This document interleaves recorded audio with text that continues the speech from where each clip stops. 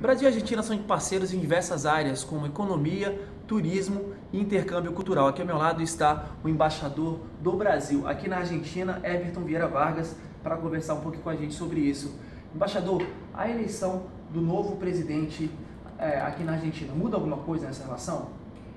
Eu acho que mudar mudará para melhor, no sentido de que, tendo em vista que ambos os países têm uma relação muito estreita, para você ter uma ideia, que nós temos cerca de 130 empresas brasileiras que atuam aqui e que geram cerca de 50 mil empregos na Argentina, eh, nós teremos certamente uma intensificação desses contatos econômicos, desses contatos culturais e uh, dos investimentos. E eu acredito que há um grande interesse uh, do presidente Macri e do governo brasileiro de expandir o investimento, o comércio e o contato entre ambas as sociedades. O senhor falou aí da parte cultural. O Brasil e a Argentina também são muito ligados nessa parte, né? Sem dúvida, há um grande interesse na área cultural.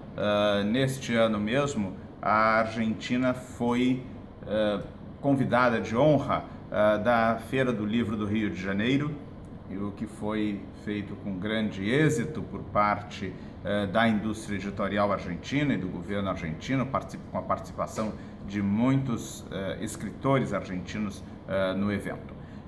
ademais disso, existe um grande interesse aqui pela música brasileira e também um interesse pela uh, língua portuguesa. O Centro Cultural Brasil-Argentina, ligado à Embaixada do Brasil em Buenos Aires, tem mais de 700 matrículas uh, neste ano e faz uh, aulas, apresenta aulas de português para diversas instituições uh, do país, como a Academia Diplomática, o Ministério da Defesa, o Congresso e também outras instituições públicas e privadas.